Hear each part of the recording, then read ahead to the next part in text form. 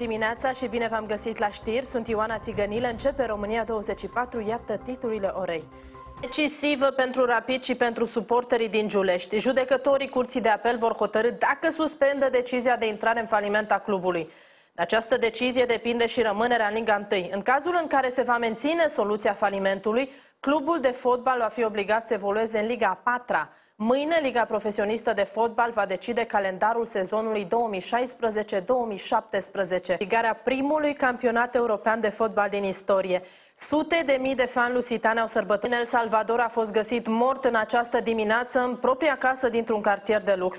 Autoritățile Corupția din România îi sperie pe investitori, arată un raport anual privind mediul de afaceri realizat de Departamentul American de Stat. Specialiști declarații surprinzătoare făcute de premierul Bulgariei la numai 24 de ore de la summitul pentru Rapid. Clubul din Giulești află astăzi dacă intră în faliment sau nu din cauza datoriilor mari acumulate de-a lungul anilor. Despre această fără Cristiano Ronaldo, accidentat în prima repriză, Lusitano a învins Franța în prelungirile finalei și și-au adjudecat primul trofeu din istorie.